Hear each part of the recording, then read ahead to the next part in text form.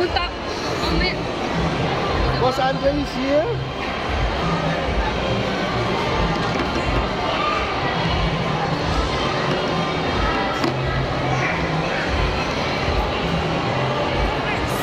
Si Marco, dali mo dito, tapos dahil ko. Hindi mo parati mo ina inaano siya Marco, iniikot, mabait yun.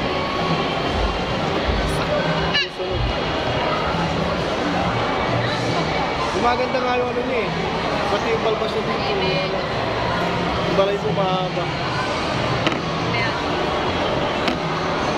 Lalo pag Lalo siguro pag sinapo mo ng sinapo ng shampoo eh. Kaya sila ano, parating yun. Hello, Boss Andre. What are you doing here?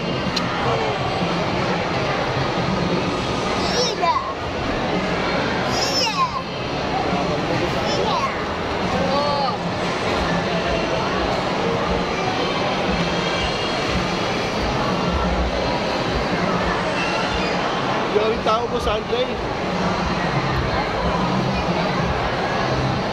Ah, nasa dito yung...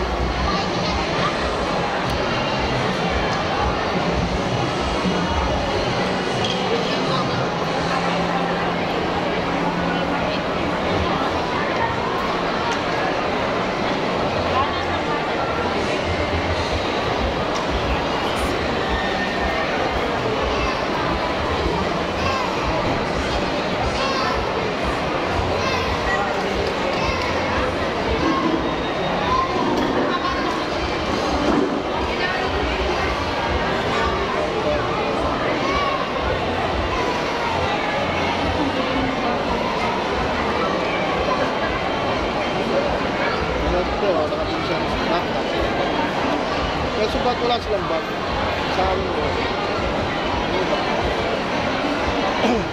Pero may, alam ko, SP may printer na kasama. Promo, ba't walang... Naka zero interest ka naman. Hindi, may meron talaga kasama. Sabi ng coordinator ng ano. Meron. Meron, sa amin nga meron, kaso mahal nga lang. Hindi sa zero. Printer, kasama, free. Bawasan mo kami. Hindi ba na, bawasan mo kami.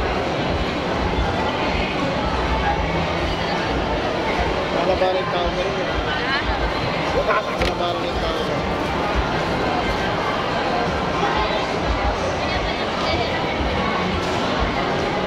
Dalag, kaharap na pa, nagsasawa na.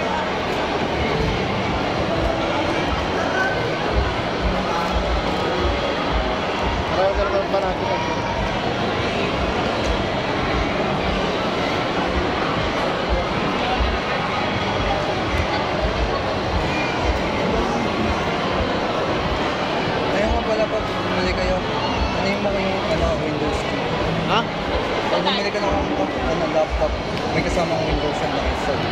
Oo. Merong key, ano parang key yun. Nag-close sa parang speaker. Ano na? Parang speaker. Para pwede mo i-install yung Windows sa ibang device. Sabi mo kay ate.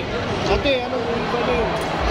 Kunyari, naka-install yung Windows 11, pwede mo gamitin sa ibang Windows 11. Oo, oh, nagbayad din kasi Windows eh.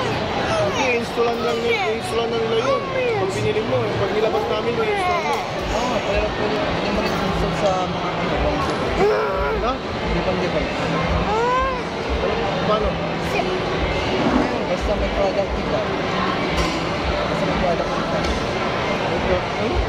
Ibig sabihin parang posting na pinurchase mo yung Oo, oh, sa kanila yun. Hindi, sa ko. Tanong mo sa kanila mamaya. Kung di alam yun. Wala, walang, wala sabi nila, di wala tinatawag ko dito. Pero alam ko kasama yun, sa amin kasi kasama.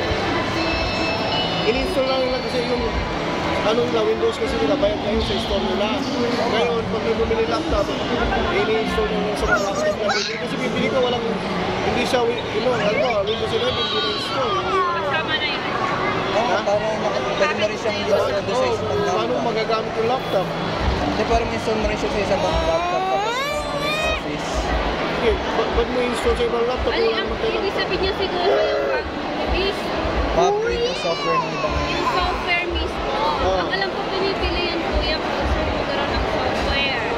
Oo nga, pero pag product, ibig sabihin na pwede mo na yun. Ibig sabihin pwede mo siya gamit sa ibang... hindi sila, hindi sila.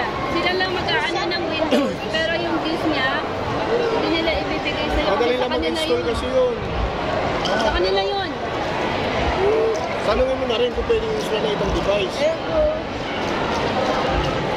Ibang device, kumbaga maglalagay ka. Oo, sabi ko. Laptop yun eh. Pwede Laptop. naman. Ryzen 5 kasi diba, uh, Ryzen 3, old model na yun eh. Ryzen 5 dash i7 ang Ryzen 5, Hindi, may kadugtong pa yun sa dulo. Yung may parang number. no? May karagtong pa daw na number na model. Yung parang ano, kaya siya yung first generation, parang 1,000.